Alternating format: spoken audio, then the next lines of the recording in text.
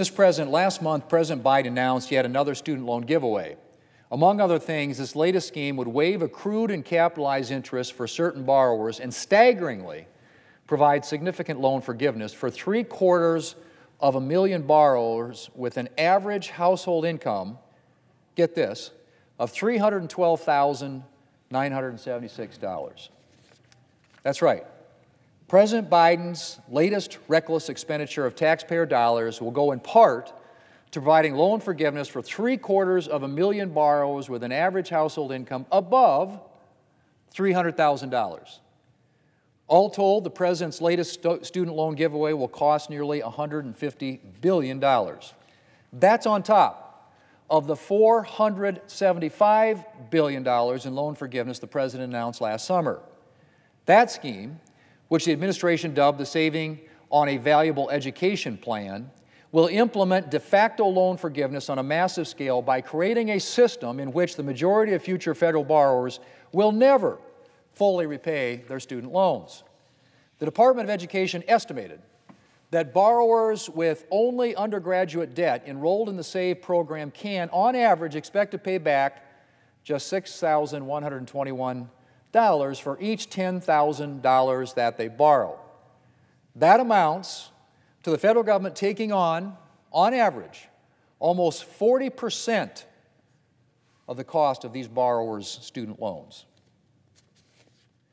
Mr. President, there are so many problems with the President's plans it's difficult to even know where to begin. First, there is the staggering cost of these and other Biden administration student loan programs. The Committee for a Responsible Federal Budget, where the President's own Treasury Secretary used to sit on the board, had this to say, and I quote Including the Biden administration's new student debt cancellation plan, we estimate all recent student debt cancellation policies will cost a combined $870 billion to $1.4 trillion. That's more than all federal spending on higher education over the nation's entire history. That again is a quote, Mr. President, from the Committee for Responsible Federal Budget. Uh, let me just repeat that last line.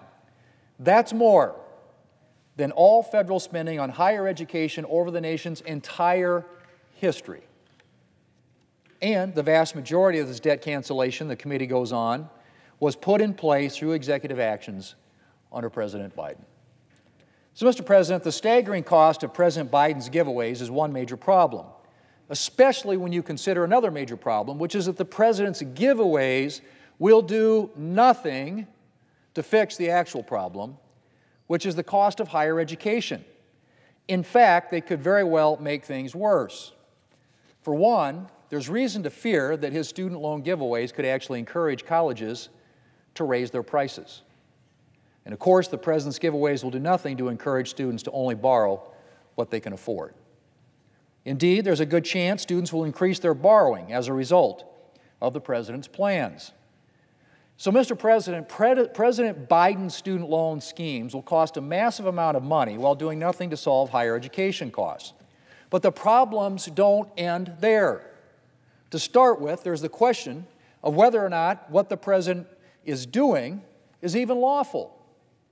Last summer, the Supreme Court struck down the president's original student loan forgiveness plan because the president lacked the statutory authority to forgive student loans. And there's reason to wonder whether his SAVE plan or these latest measures could be struck down in the courts as well.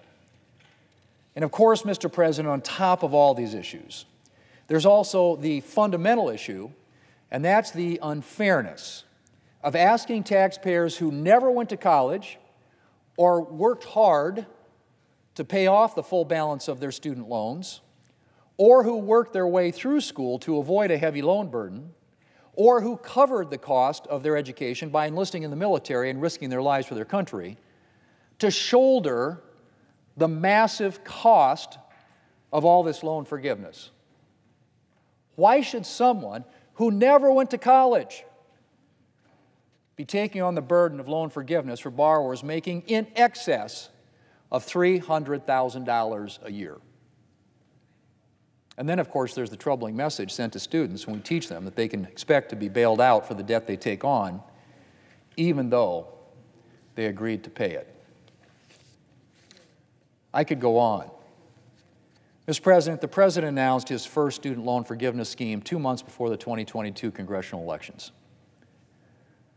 I don't think there's a coincidence about that, and I suspect it's no coincidence that he expects to implement his latest student loan giveaway this fall, before the 2024 election.